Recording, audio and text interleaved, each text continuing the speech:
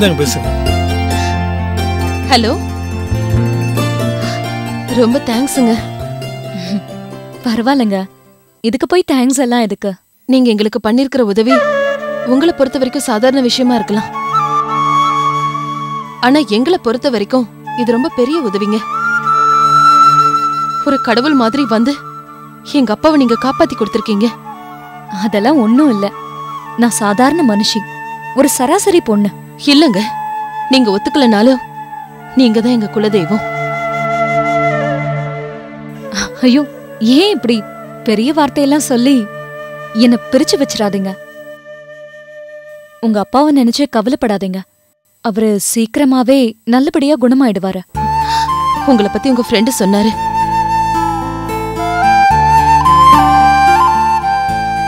டாக்டரும் ரொம்ப பெருமையா பேசினாரு. இப்ப நீங்க எல்லாத்தையும் சாதாரணமா எடுத்துக்கிட்டு எவ்வளவு இயல்பா பேசுறீங்க? நீங்க பேச பேச. உங்களை எனக்கு இப்பவே பார்க்கணும் போல இருக்கு. லைஃப்ல எல்லாரும் நல்லவங்களா தான் இருப்பாங்க. ஒருவேளை கெட்டவங்களாவே இருந்தா கூட அவங்கள நம்மளால மாத்திட முடியும் திருத்திட முடியும் நினைச்சு நம்பி நம்பி ஏமாந்து போனவனா? அதனால எனக்கு மனுஷங்க மேலேயே ஒரு வெறுப்பு வந்துருச்சுங்க. ஆனா இப்ப முதல் தடவையா வாழ்க்கையில உண்மையான ஒரு நல்லவங்களோட பேசிட்டு இருக்கேன். அந்த நல்லவங்களை நான் சந்திக்கணும்னு ஆசைப்படுறேன். இல்ல இப்ப நான் கொஞ்சம் வேலையா இருக்கேன். இல்ல இல்ல வேணா வேணாம். நீங்க உங்க வேலைய பாருங்க. இங்க வர வேண்டாம். நானும் அம்மாவும் உங்களை நேர்ல வந்து பாக்குறோம் நீங்க எப்ப ஃப்ரீயா இருப்பீங்கன்னு மட்டும் சொல்லுங்க. ஐயோ அதெல்லாம் ஒண்ணு வேண்டாம். நீங்க அப்பாவை கவனிங்க. நான் வேலையை முடிச்சிட்டு ஹாஸ்பிட்டலுக்கு வரேன். இல்ல பரவாயில்ல. நீங்க எனக்காக அலைய வேண்டாம். நானே வரேன் please okay thank you bye bye என்ன சுபா என்ன சொன்ன அந்த பொண்ணு? அவங்களே வேலையை முடிச்சிட்டு வரேன்னு சொன்னாங்கம்மா. சார் உண்மையிலேயே அவங்கள பார்க்கறதுக்கு நான் ரொம்ப ரொம்ப ஆர்வமா இருக்கேன்.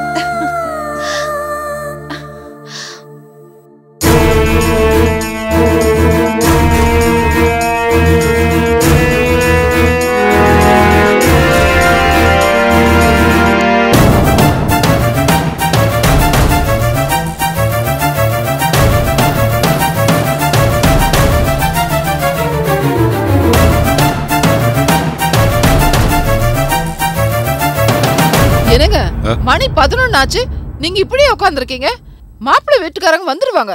நீங்க ட்ரெஸ் எதுவும் மாத்தலையா? இந்த ட்ரெஸ்ஸுக்கு என்ன? நல்லா தானே இருக்கு? சரி சரி.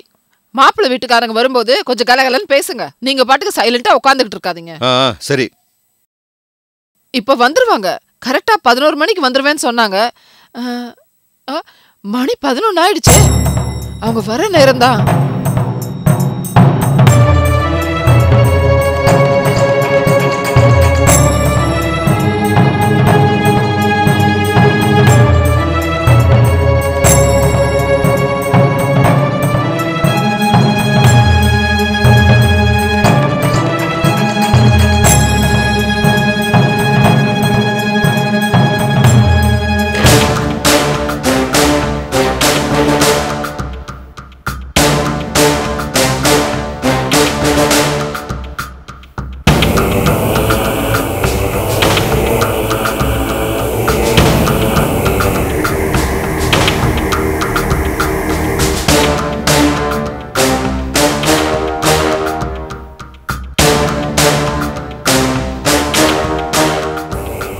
வீரா சொன்ன மாதிரி மாப்பிள்ளை வீட்டுக்காரங்களை வராமல் பண்ணிட்டான் போல இருக்கு.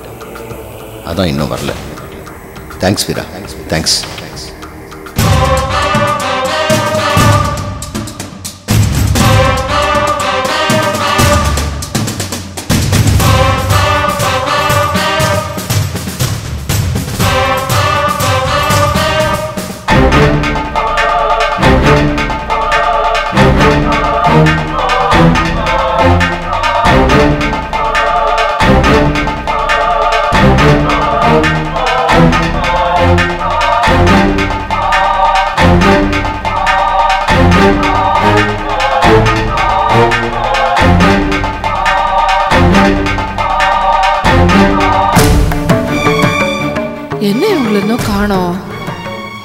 என்னாச்சோ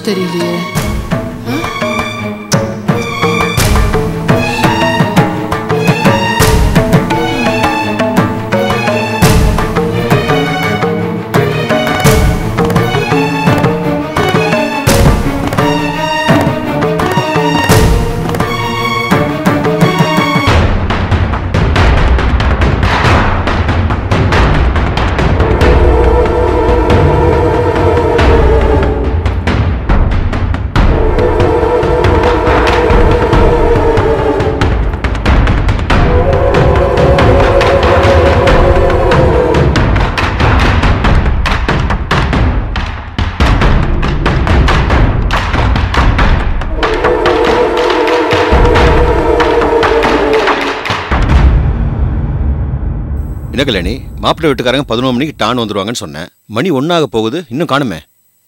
அதாங்க எனக்கும் ஒன்றும் புரியல. ஒரே டென்ஷனா இருக்கு.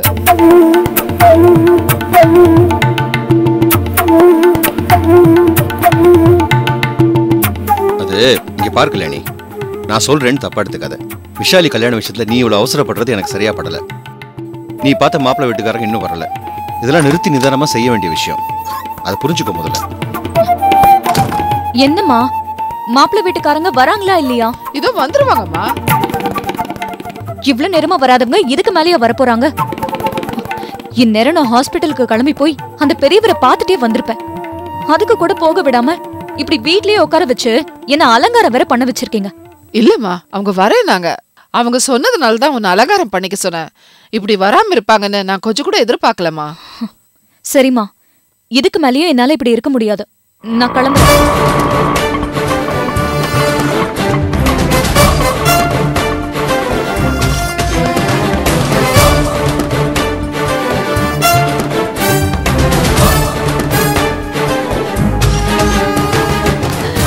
அவங்க வந்துட்டாங்கன்னு நினைக்கிறேன். வந்துட்டாங்க. நீ உள்ள போயிரு நான் கூப்பிடுறேன். ஏங்க வாங்க வாங்க.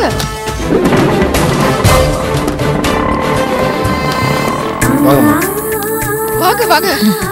வணக்கம். வணக்கம்மா. வணக்கம் வாங்க. சாரிங்க கொஞ்சம் லேட் ஆயிடுச்சு. இல்ல பரவாயில்ல. இப்ப கூட நல்ல நேரம் தான். உள்ள வாங்க. வாப்பா. நீ போகமா வாங்க. உள்ள வாங்க. வாங்க. வாங்க. உட்காருங்க. ஆ. உட்காருங்க. உங்ககிட்ட சொன்ன மாதிரியே பதினோரு மணிக்கெல்லாம் வந்துடலான்னு கிளம்பணும் வர வழியில கார் கொஞ்சம் ரிப்பேர் ஆயிடுச்சு. அப்புறம் மெக்கானிக்கல வர வச்சு பார்த்தப்போ மேஜர் ஒர்க் இருக்கு. ரெடி ஆகுறது ரெண்டு மூணு நாள் ஆகும்னு சொல்லிட்டாரு. அதான். ஆட்டோ பிடிச்சி வரதுக்கு கொஞ்சம் லேட் ஆயிடுச்சு. தப்பா எடுத்துக்காதீங்க. ஐயோ என்ன நீங்க அதெல்லாம் சொல்லிக்கிட்டு? பரவாயில்ல விடுங்க. சரி என்ன சாப்பிடுறீங்க? ஐயோ அதெல்லாம் ஒண்ணு வேணாங்க முதல்ல பொண்ணை பார்த்துடலாமே. சரி சரி. நீங்க பேசிட்டு இருங்க. என்னங்க? மாப்பிள்ளைட்ட என்னமோ கேட்கணும்னு சொன்னீங்களே. கேளுங்க. அவர் கொஞ்சம் மூடி டைப்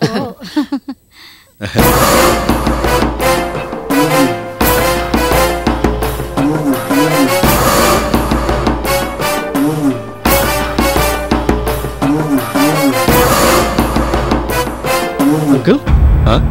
நீங்க மருதநாயம் குரூப் ஆஃப் கம்பெனில தானே ஒர்க் பண்ணிட்டு இருந்தீங்க? ஆ ஆமா. அதோட ஹெட் ஆஃபீஸ் எங்க இருக்கு அங்கிள் பாண்டிச்சேரி. உட்காருங்க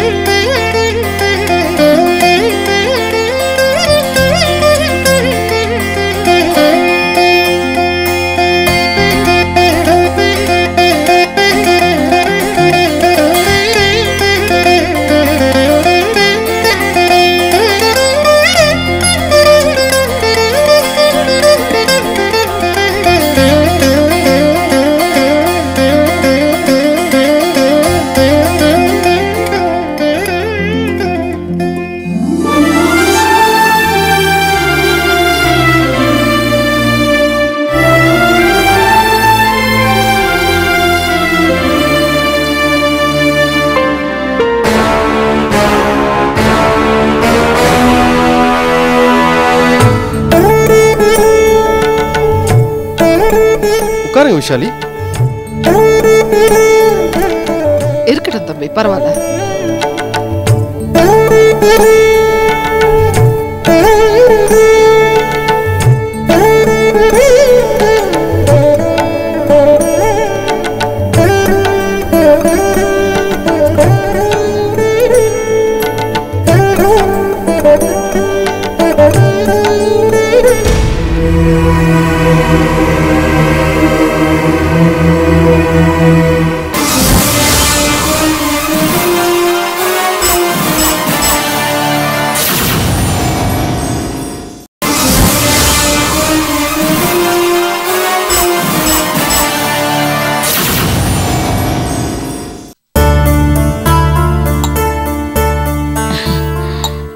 காஃபி ரொம்ப நல்லா இருந்ததுங்க.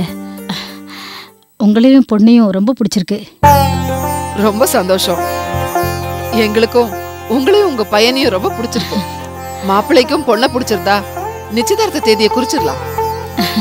என்ன பாலா உனக்கு பொண்ணு பிடிச்சிருக்கா? அம்மா. என்ன? நான் மாப்பிள்ளை கிட்ட கொஞ்சம் பேசணும். ஏய் சும்மா இரு. என்ன ஆண்டி? ஒன்றும் இல்லை தம்பி. அவங்க ஏதாவது என்கிட்ட பேசணும்னு நினைக்கிறாங்களா?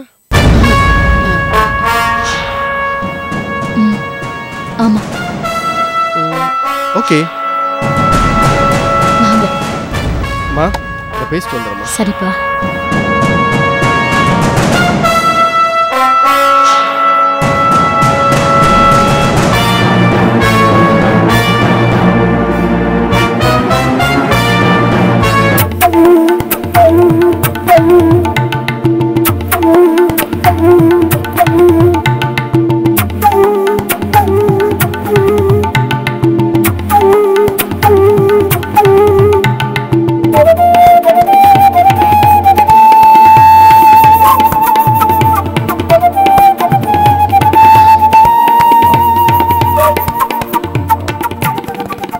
நானே உங்ககிட்ட தனியாக மீட் பண்ணி பேசணும். என் கனவு எல்லாத்தையும் சொல்லணும்னு நினச்சேன். ஆனால் பேசணும்னு சொன்னால் நீங்கள் அதை எப்படி எடுத்துப்பீங்களோ யோசனையில் தான் கொஞ்சம் தயங்கி நின்றேன் ஆனால் நல்ல வேலையாக நீங்களே பேசணும்னு சொல்லிட்டீங்க. தேங்க் காட் லேடிஸ் ஃபர்ஸ்ட் நீங்கள் என்கிட்ட என்ன பேசணும்னு நினச்சிங்களோ அதை சொல்லிடுங்க. சாரி இந்த கல்யாணம் நடக்குங்கிற நம்பிக்கை எனக்கு கிடையாது. அதனால நீங்க தேவையில்லாம கனவை வளர்த்துக்காதீங்கன்னு சொல்றதுக்காக தான் என் லைஃப்ல எல்லாமே அழகான ஆரம்பமா தான் தொடங்கும். ஆனா போக போக திடீர் திடீர்னு பிரச்சனைங்க வந்து நிலைமையே தலைகீழா மாறிடும். அது மாதிரி தான் இந்த கல்யாண விஷயமும் ஆக போகுது. ஏன் அப்படி சொல்கிறீங்க என்ன காரணம்? காரணம் எதுவும் இல்ல. ஆனா என் உள் மனசு இப்படிதான் சொல்லுது. நீங்க என்ன பிடிச்சிருக்குன்னு சொல்லி பெரியவங்க கல்யாண வேலையெல்லாம் ஆரம்பிச்சு அதுக்கப்புறமா இது தடப்பட்டு நிக்கிறதுக்கு பதிலா நீங்க இப்பவே என்ன பிடிக்கலன்னு சொல்லி இதுக்கு ஒரு ஃபுல் ஸ்டாப் வச்சிடுறது. பெட்டர்னு தோணுது. அப்போ? என்னை ரவுடி வச்சு மிரட்டினது நீங்கள் தானா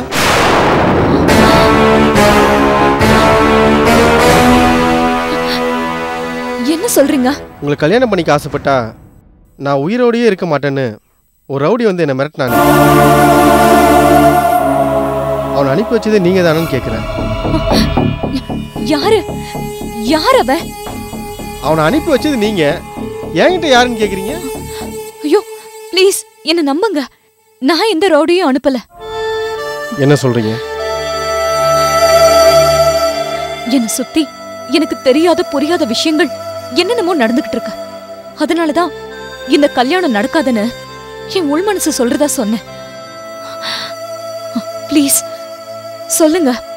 அந்த ரவுடி எப்படி இருந்தான்? என்ன சொன்னான்? ஒன்றா நம்பர் அயோக்கிய நாட்டம் இருந்தான். வேற எதுவும் எனக்கு சொல்ல தெரியல. உங்களை பார்த்தா என் உயிரை எடுத்துருவான் இந்த ரவுடி மிரட்டினால சரி அப்படி என்னதான் பண்றான்னு பார்க்கலாம் தான் இங்கே வந்திருக்கேன். எனக்கு அவனை பற்றி பயமும் இல்லை கவலையும் இல்லை. எனக்கு உங்களை பிடிச்சிருக்கு.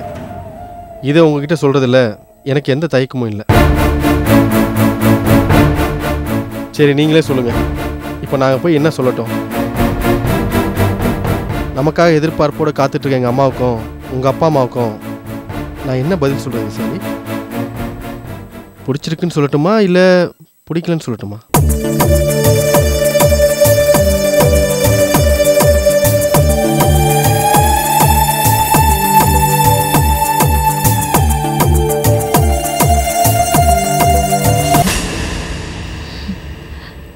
பிடிச்சிருக்குன்னே சொல்லுங்க.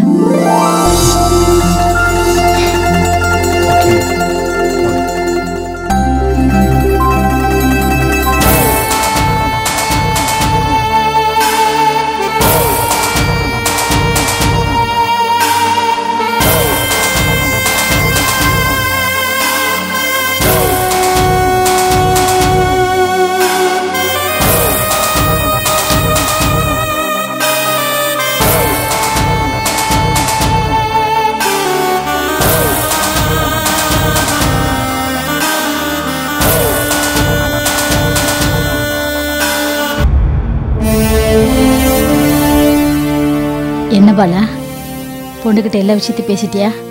அதுக்கப்புறம் வீட்டுக்கு வந்து அம்மா நான் சரியாவே பேசலைன்னு என்னை டார்ச்சர் பண்ணக்கூடாது. ம்?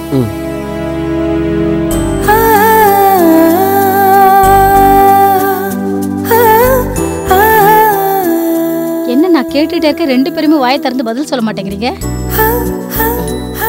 என்னங்க மாப்பிள? நிச்சயதார்த்தத்துக்கு தேதியை பாத்துடலாமா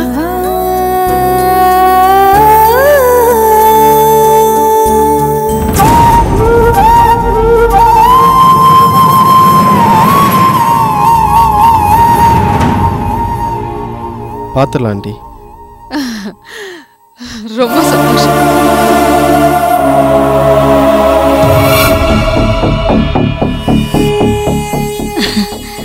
ரொம்ப சந்தோஷம் பாலா. சந்தோஷமான விஷயத்த சொல்லியிருக்கேன். சம்மந்திம்மா நிச்சயதார்த்தத்துக்கு ரெண்டு மூணு தேதி குறித்து கொடுக்குறேன். உங்களுக்கு எந்த தேதி வசதிப்படுதோ அதை சொல்லி அனுப்புங்க. அன்னைக்கே நிச்சயம் வச்சுக்கலாம். சரிங்க.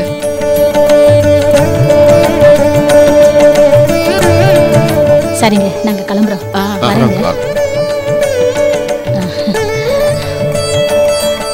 என்ன மருமகளே போயிட்டு வரட்டுமா வரேங்க. வாங்க. போலாமா பாலா? வரேங்க.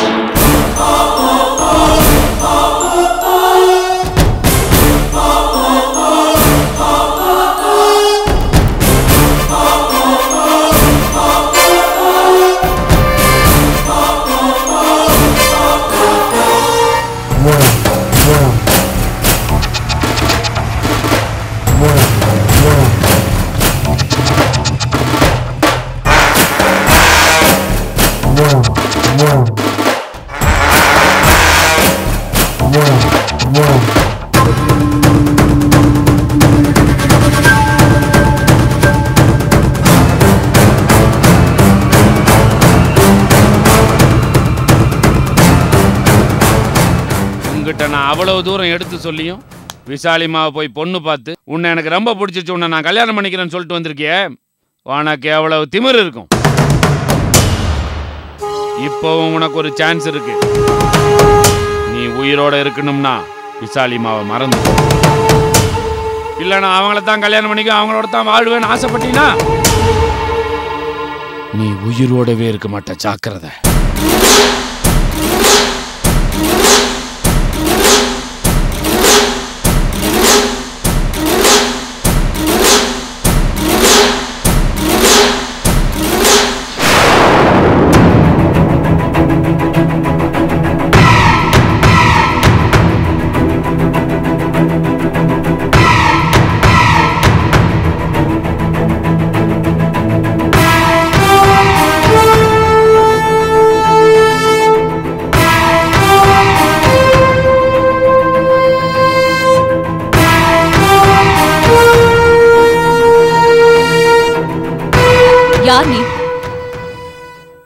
என்னை இவர் கல்யாணம் பண்ணிக்க கூடாதுன்னு எதுக்கு சொல்ற? இத சொல்றதுக்கு உனக்கு என்ன உரிமை இருக்கு? ஏய் கேட்குறாங்கல்ல பதில் சொல்லு.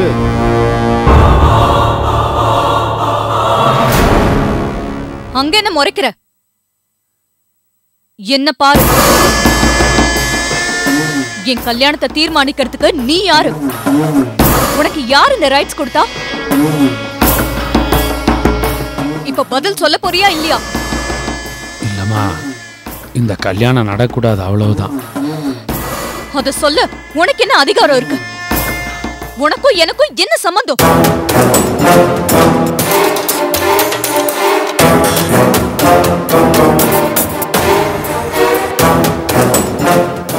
மருதநாயகம் என்ன கல்யாணம் பண்ணிக்க நினைச்சப்போ அத நீ தடுக்க வந்த. அதுல ஒரு நியாயம் இருந்தது. ஒரு வயசான ஆளு ஒரு சின்ன பொண்ண கல்யாணம் பண்ணிக்க ஆசைப்பட்டது ஒரு அநியாயமான விஷயம். அத நீ தடுத்து நிறுத்த வந்திருக்கலாம். அது ஓகே. இப்ப எதுக்கு இந்த கல்யாணம் நடக்க கூடாதுன்னு இவரை கொன்னுடுவேன்.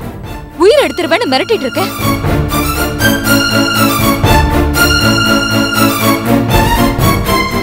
யார் சொல்லி இப்படி எல்லாம் நடந்துகிட்டு இருக்க உனக்கு பின்னால இருக்கிறது யாரு? மா அன்னைக்கு மருதநாயகன் வீட்டில் உங்களுக்கு நான் என்ன பதில் சொன்னனோ அதே தாமா இப்போவும் நான் சொல்லுவேன். நீங்கள் என் மேலே எவ்வளோ கோவப்பட்டாலும் சரி என்ன திட்டினாலும் சரி எனக்கு அதுக்கு மட்டும்தாம்மா உத்தரவு இருக்கு. ஒரு நாள் இல்லை ஒரு நாள் நான் யாரு எதுக்காக இப்படியெல்லாம் பண்ணுறேன் எல்லா விஷயத்துக்குமான உண்மையான காரணம் கண்டிப்பாக உங்களுக்கு தெரியுமா? அது வரைக்கும் கொஞ்சம் பொறுமையாக இருங்கம்மா. என்ன எனக்கு எதுவும் தெரியாதுன்னு நினைச்சிட்டு இருக்கியா? உன்னை பத்தி எங்க கேட்டு தெரிஞ்சுக்கணுமோ? அங்க கேட்டு தெரிஞ்சுக்கணும் ஆனா இப்போ ஒன்னு சொல்றேன் கேட்டுக்க. என் கல்யாணம் நடக்க கூடாதுன்னு துடிக்கிற இல்ல ஆனா அது கண்டிப்பா நடக்கும். மாப்பிள்ள இவர்தான்.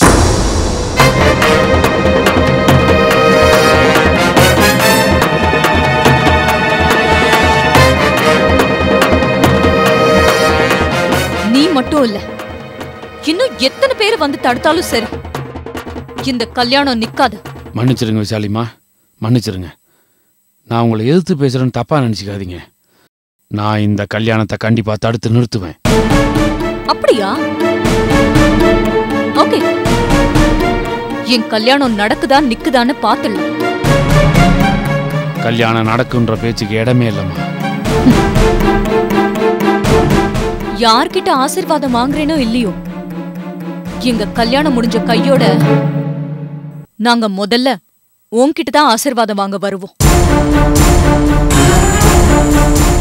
இத பாரு.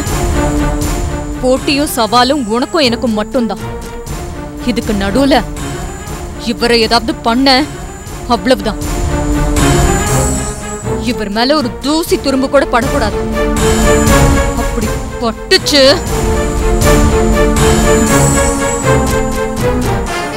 நீங்க போங்க.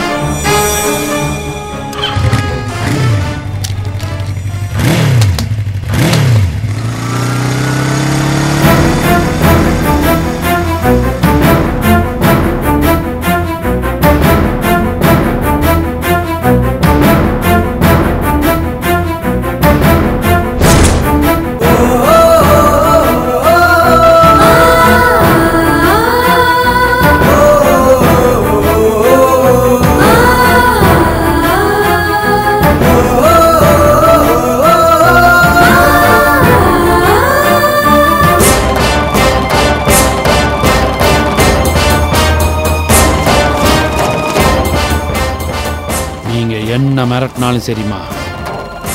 இந்த கல்யாணத்தை நான் நடத்த விட மாட்டேன். இது ஆண்டவர் மேல சத்தியம். அப்பா! அப்பா! அப்பா! அப்பா! ஏண்டி? இப்படி அப்பா அப்பான்னு கத்திட்டு இருக்க அப்பா எங்கம்மா இருக்காரு. ஏங்க? வாங்க. என்னம்மா? ஏன் டென்ஷனா இருக்க? அந்த வீரா யாரு?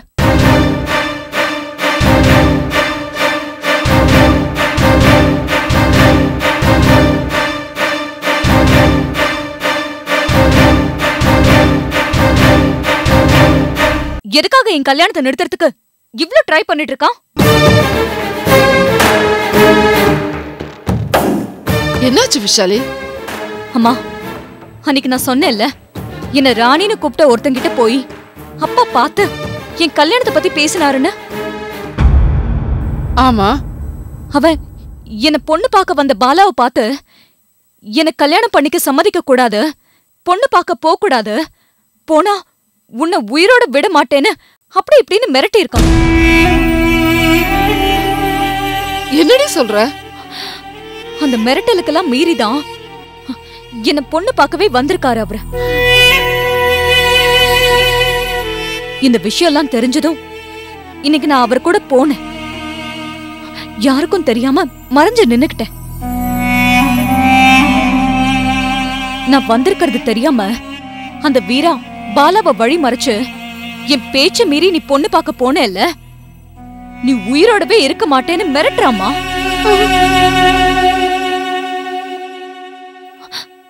அவ யாரு? இந்த கல்யாணம் நடக்க கூடாதுன்னு முடிவெடுக்கிறதுக்கு? அவனுக்கு யார் இந்த உரிமையை கொடுத்தது? நீங்க தானப்பா? சத்தியமா எனக்கு ஒண்ணும் தெரியாதும்மா. இந்த விஷயத்துக்கு எனக்கு எந்த சம்மந்தமும் இல்லம்மா. பொய் சொல்லாதீங்க. பாலா என்ன பொண்ணு பார்க்க வரப்போறது நம்ம மூணு பேருக்கு மட்டும்தான் தெரியும். அது எப்படி வீராக்கு தெரிஞ்சது?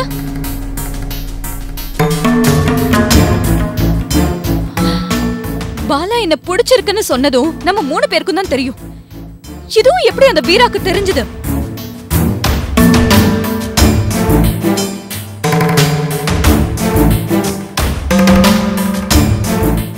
நானும் சொல்லல. அம்மாவும் சொல்லிருக்க சான்ஸே இல்ல. ஏன்னா அவன் யாருன்னே அம்மாக்கு தெரியாது.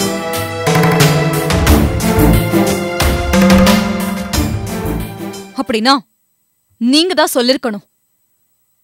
சொல்லலைன்னு சும்மா பொய் சொல்லாதீங்க. என்னங்க நீங்க? ஏன் இப்படி எல்லாம் பண்ணிட்டு இருக்கீங்க அம்மா நீ எனக்கு ஒரு கல்யாணத்தை பண்ணி பார்க்கணும்னு துடிக்கிற. ஆனா அப்பா என் கல்யாணத்தை நடத்த விடாம தடுத்து நிறுத்தணும்னு துடிக்கிறாரு. இதெல்லாம் பார்த்தா அந்த ஜோசியர் சொன்னது உண்மையா இருக்குமோன்னு எனக்கு மறுபடியும் மறுபடியும் தோணுதுமா. விஷாலி எனக்கு எதுவுமே தெரியாது. நான் ஒண்ணுமே பண்ணல. என்னையே நம்ப மாட்டேங்கிறேன். அன்னைக்கு சூட தணிச்சு சத்தியம் பண்ணேன். அப்ப கூட நம்ப மாட்டேங்கிறேன். அப்ப நம்பிக்கை வந்துச்சு. ஆனா அதுக்கப்புறம் நடக்கிறதெல்லாம் பார்த்தா அந்த சத்தியமே பொய் சத்தியமா இருக்குமோன்னு சந்தேகமா இருக்குப்பா.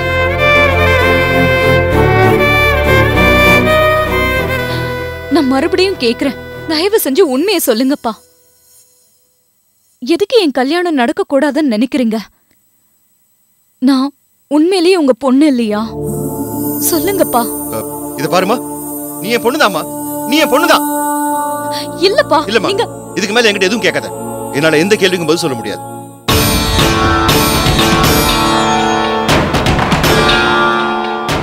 ஏன் இவர் இப்படி நடந்துக்கிறாருன்னு எனக்கு புரியவே மாட்டேங்குது. உன் மேல உயிர் ஏன் வச்சிருக்கிற மனுஷன். உன் கல்யாணம் நடக்க கூடாதுன்னு ஏன் நினைக்கிறாருன்னு எனக்கு புரியவே மாட்டேங்குது. ஆ.